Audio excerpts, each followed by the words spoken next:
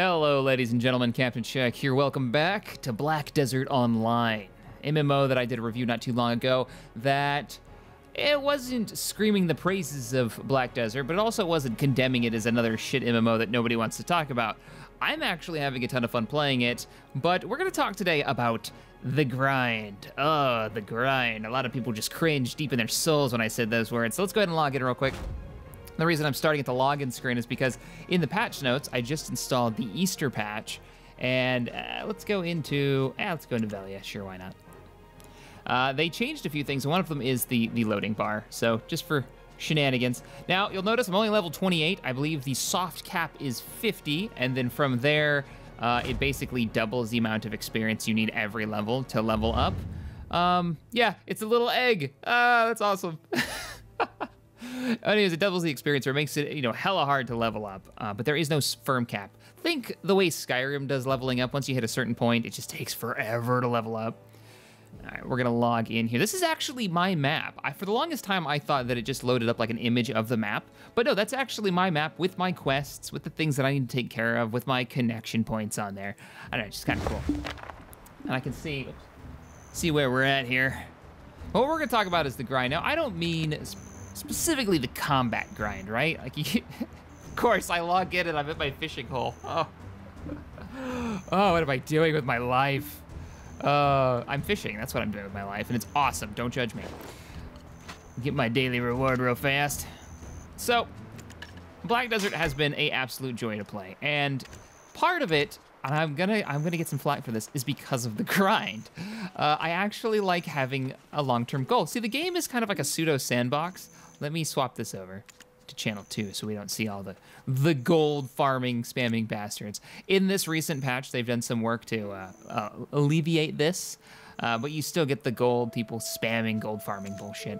Come and buy buy gold in this even though you can't directly trade gold so they're gonna have to like trade you some item or something. It's pretty ridiculous. If you don't know this is actually somebody's farm i'm running around in. All right, so let's talk about the grind though. The big goal that I set for myself when starting this out, because that's what this game really is about, it's about setting goals and accomplishing them.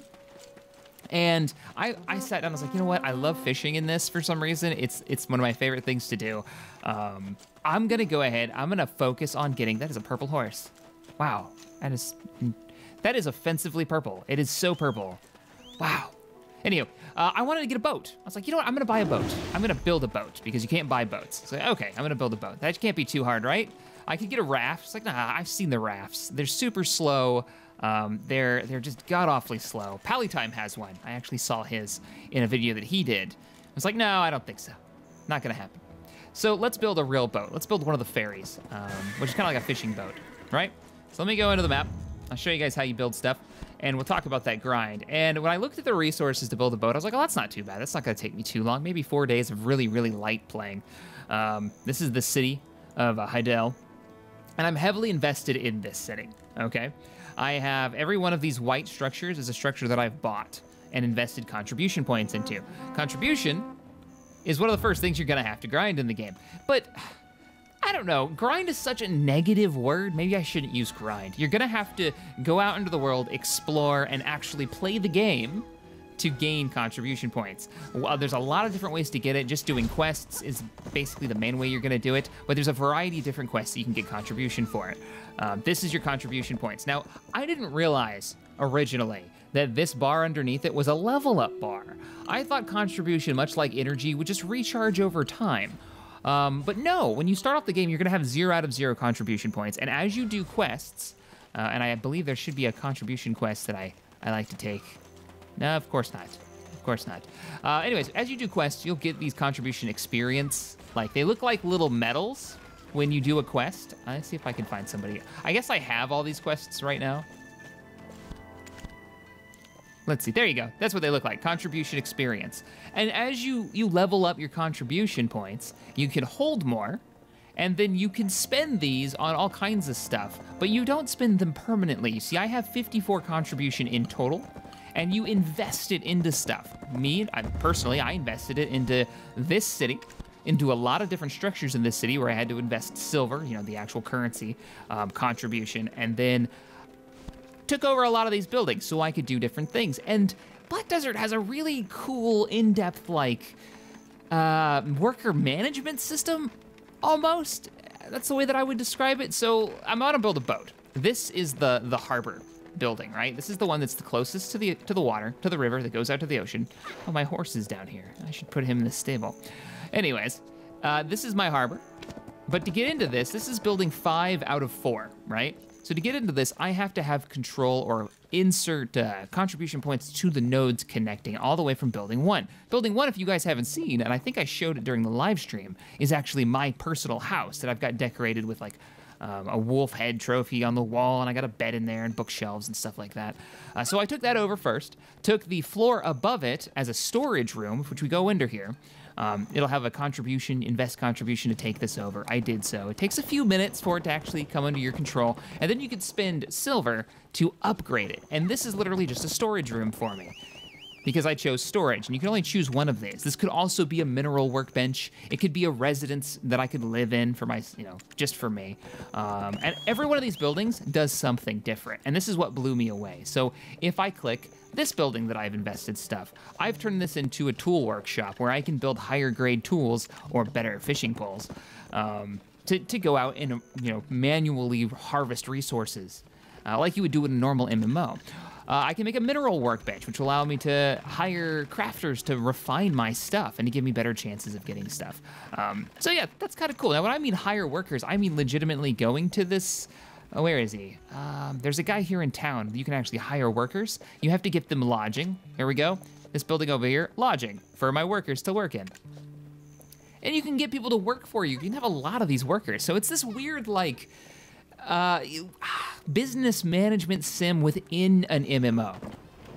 And you can focus on whatever you want. Now, talking about the grind, I was like, all right, I'm gonna build a, a boat. I wanna build the ferry, but I also wanna customize the ferry. So I, I got the harbor. Here's the shipyard. All right, this is the only building in town that has the shipyard in this town. Uh, and it allows me to build two ships. The crappy raft, which is literally eight logs strapped together with some string, right? That's your that's your that's your raft. Eh, no thanks. But the ferry is a, a legitimate ship, right? It's a very small ship. So I'm like, I'm gonna do that. So I go to manage crafting. I've got a worker working on this, at least I had. And I had just glanced at this and I said, okay, actually, when I originally had done this, I had just put my mouse over this and it says crafting materials. It says I need, uh, well, ash plywood, lead ingots, I only need 10 of those, ash sap, only 10 of those, black stone powder, only 10 of those. All that stuff fairly easy to get except for the ash plywood. That takes um, a ton of ash lumber. It has to be refined in three different tiers until eventually you get it. But I'm like, all right, that's not too bad. It took me about three days of really light playing to collect all this. I'm gonna have me a boat. What I didn't realize, and this is the grind, go under manage crafting when I went to go build it, and notice it says one out of 10 right here. I don't know if you guys can see that on YouTube. If you're watching this on a phone, uh, it says um, usable scantling, usable plywood, one out of 10, one out of 10. Uh, actually, one out of 20 for plywood, which is one of the harder things in this to get. Yeah. So what took me about three casual days to get what I thought was the requirement to build this boat ends up being only a tenth of the resources that I actually need. Now, right away, I was like, holy shit, I'm gonna have to grind out how much? Well, I kind of went at this the wrong way. What in the world is going on next to me with these horses? Let me let me get out of get out of town a little bit. Let's walk over here. I was thinking, oh man, I gotta collect so much wood, so much lead, but I kind of looked at it the wrong way because this has that worker sim aspect to it. I can get a lot of workers to go out and get most of those resources for me. If I click up here, you notice all these yellow lines. This is a trade route that I originally set up uh, between Velia and Heidel, so I can trade back and forth between the two major cities and all their connecting little um, villages that I've discovered. But if I go up here into the forest, there's a lumber mill. I can click that, and I can actually send, we'll send my skilled worker out there, level three, go start work. And now he'll head out there and he'll go chop wood for me and lumber. He'll do that. He'll drop it off at the city that he's based at. And I don't have to do anything. I just have to continue to play the game. But that is part of the grind. I can go out there, I can grind stuff out. So part of me was like, oh crap, that is a lot of resources that I'm gonna have to grind out. That kind of sucks. Uh, I'm gonna have to go up to like a thousand of these trees as soon as I say that I don't have an axe equipped and chop down about, you know, I don't know, a thousand trees or something crazy. And it's true, I'm gonna have to do that if I wanna build this boat, but now I have a long-term goal to work on. And I kind of don't mind because I can do that semi-AFK. Hey, my gathering just leveled up, sweet. Um, there are things that I can do to make it go faster. I can get gathering clothes, I can get better tools, I can invest in into getting this particular resource. I can get workers refining the resource for me in town by getting a lumber mill in town. Let's see. Uh, that's a refinery. I think there's a lumber mill in uh, this chain, maybe? Refinery.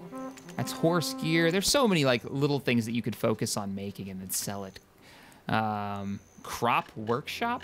I wonder if Tabby knows about this. Because she's doing a lot of farming. That's her big focus right now. Furniture workshop, if you want to sell furniture on the marketplace. There's a lot of cool things that you can focus on in this. Um, but I don't see... It's in here somewhere. I'd have to go through all these to find it. But I can get a wood workshop so I can get a worker constantly refining the materials that all the other workers go out and get for me. Or I can spend my day fishing, grinding out fishing for fun, and sell those materials to the trade merchant or sell whatever I get to the uh, the market, the player market, and make my money and then buy what other people have invested their time and their workers and their resources into to produce, like say that ash plywood that's a pain in the ass for me to refine, uh, and just buy it, buy it with cash. So I'm probably gonna do about half that to build my boat, but do I mind it? Is that the kind of grind that I mind? Not really, because it, it makes me want to do and specialize my character into a part of the economy, which I kind of dig. I do kind of dig that. At the same time, I'm like, God, that's a lot of work. See, do I have anything that can be refined right now?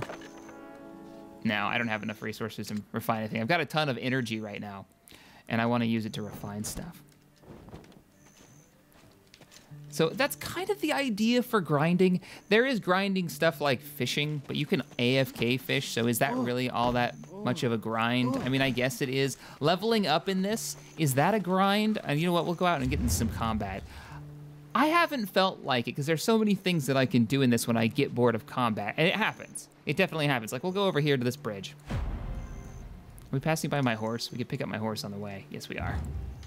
Well, I'll go over that bridge. There's some red orcs over there we'll fight. But um, I found myself starting up the workers to go do their thing, right? I do a little fishing when I'm low on energy, or if I feel like adventuring, I'll go out and I'll do combat, but it doesn't feel like it's the sole focus of the game. And I think that's why I like Black Desert. It's the same reason I like Star Wars Galaxies and Ultima Online. It doesn't feel like the game is totally geared toward me going out and butchering every NPC in the land. I'm just gonna run it. We're just gonna run it. We're gonna get some exercise. Character actually does level up his strength when you do this. Um, yeah, it's kind of cool. Like Tabby's big focus right now is half combat because she just likes wants to level up just like I do, and half focusing on farming so she can build make stuff for like her horses. She's making carrot juice so she can heal her horses and keep their energy up so she can run faster. She's running all over the place. Um, she's focusing on farming like different levels and of plants and doing like wow, what was she doing? Um, I don't know. There, there's some really in-depth farming mechanics in this that I don't fully understand. She tells me about them all the time, but I'm just like, yeah, yeah, yeah, building a boat. That sounds good. oh man, it's fun though. Like the combat though, when we're talking about grinding though, let's let's talk about grinding in the combat. The combat is fun enough that it doesn't feel like I'm grinding. And I'm picking and choosing where I want to go to do it. People have been saying, oh, there's no difficulty in this. Uh, and I was one of those people for the first 20 levels, uh, the difficulty really wasn't there.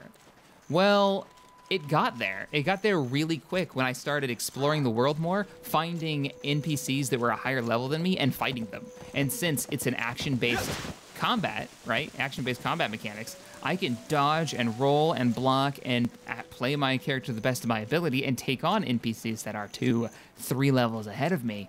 And that's where it gets fun, especially when you get a friend to join you. Of course, I'm like miles away and didn't grab my horse.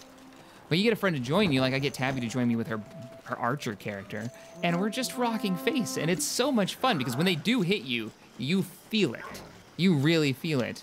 A couple of orcs over here. Hey!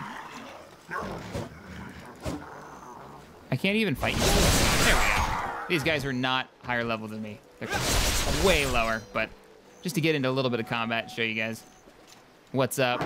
Block. do your special attacks. There's my stuns, deep striking. I can roll back and then strike. You can combo your moves, so I can, well, I can't do it with him because I think he's too big. But I could grab him. Let's see if I can do it. Nah, he's too big. If you grab him, you can knock him down, and then you can start doing attacks like this that'll do extra damage. If you get behind him, you'll do bonus damage. I mean, the combat is a lot of fun, and that alleviates a lot of that fielding of the grind. Especially how the questing system works. It's kind of like a radial quest system, it seems. If you go into uh, this menu here and you turn on all the quests, you'll get a lot more than just go kill 200 of these, go kill 15 bear asses, uh, or 15 bears to collect their bear asses to give to some person. There's a person doing a trading run, and since she's not on her horse, she's training up her her uh, her physical strength, giving her more stamina so she can sprint farther. I mean, there's a lot of weird things you can do, and you always feel like you're progressing your character. So yes, everything you need to do this game is a grind in some way, especially if you're just looking at the end goal. But if you stop focusing on the end goal of just making your character stronger and start picking and choosing the fun things that you want to do, I think one, you'll be a lot, you'll have a lot more fun with it. Oh, no, no, no, no, no, no, no. No, no, no, no, no. Stop attacking that guy's horse. It's one thing to kill, like, the adventurers running around. Don't kill some dude's horse. That's messed up, Imp. Get out of here. Get out of here. Auto run. If you just focus on the things that you want to do, like I could do that quest for that shopkeeper, which I believe is like go find his cousin or something, and you'll find these. A lot of these quests will be repeatable, uh, and you can get you can grind out your contribution just by running around the land exploring and doing the random quests like, hey, this little girl got lost, take her back to a village. I get those a lot. Um, this dwarf guy in the middle of the road wants me to take him to some far-flung city. Well, you know what? I was heading that way anyways. I'll pick him up. I'll get some contribution. No big deal. And I always feel like I'm making progress. That guy's actually a quest objective. Let's do this. These guys, their names are purple because they're quite a few levels above me. You'll notice the ones that I haven't learned about yet. Um, stay. Focus on me. The ones that I haven't learned about, uh, we won't even see their health bars move. I think that's actually my quest to learn about these guys. The more I fight these guys, the more I'll learn till eventually um, it'll say, hey, you you know everything there is to know about this guy. Now you'll know when his health bar is dropping. But this is the way you do it. If you want a challenge, jump into fights that you're not leveled for. Get a friend again. It's actually a, uh, for the North American servers, they've rebalanced the experience gain um, for fighting in a group. It's actually worth fighting as a team now for at least one or two people. I think it scales up, so you could go in with like a team of five. I haven't tried the a big group yet, but you could rock this area with a few people, even at low level. Or lower level, I wouldn't say too low. You don't want people one-shotting you. Level does still matter. Block. There's a tamer here helping me out. Actually, she's just sitting there watching her, her pet kill all the things. I love the taunt. so good. Eh, that's my rant about grinding in this game. I'm finding it a lot of fun. I am playing really casually, though. I'm only level 28 um, out of 50, and the game's been out for a few weeks now. So, probably the most casual I've ever played an MMO. But I feel like this is one of those games that uh, it works really well if you don't have the time to invest a 12 hour day playing an MMO. Um, with the auto run functions, the AFK fishing if you want to, um, the stuff like farming, where you just leave your character logged into the background because your farm doesn't grow unless your character's logged in. Don't ask me why. It's one of those things. You got to be logged in.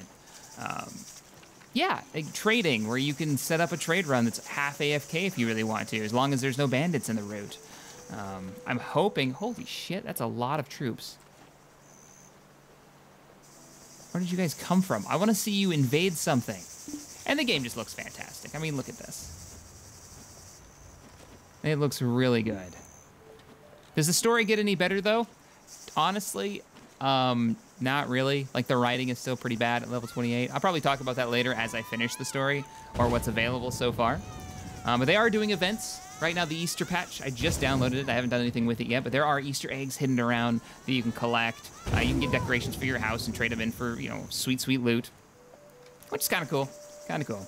Uh, you guys saw when I logged in the server that I'm on, because I can't remember off the top of my head what it is. You can always just go back to the start of the video to see. You guys are welcome. Jump on the server, send me a friend request, which I probably just got one. Nope, some of my marketplace stuff is just sold. You're welcome to send me friends request. I will accept it. And come on over, check out my house. Maybe do some fishing with me in the game if I'm doing that. I might be AFK if I'm doing it though, so if you see me hanging around, um, I'm normally hanging around either here or south of Heidel, like uh, past the bridge, so right around here. That's where I do my fishing. So, you see me, make sure you stop by, say hi. Hopefully I'm not AFK, and I'll see you. And if you enjoyed this video, you want to see more about Black Desert, let me know in the comments below. Um, I'd love to do a live stream of this. I want to set up, and then, this is kind of goofy, but I want to set up Captain Shack's Bar and Grill in Heidel. Uh, there is a building near the water that looks like the inside of a tavern. And I'm like, oh, I can turn that into. It's, it's actually the same structure, I believe, that I'm building my boat in, but on the top floor. It looks like the insides, two floors, of a tavern. So I'm going to make Captain Shack's Bar and Grill, and I want to do a live stream where we see how many players we can get inside that structure and what kind of like just big old party we can get going on. I think that'll be a lot of fun. So, all right, guys, let me know if you're interested in that. Uh, I will see you guys in the next video. Later, everybody.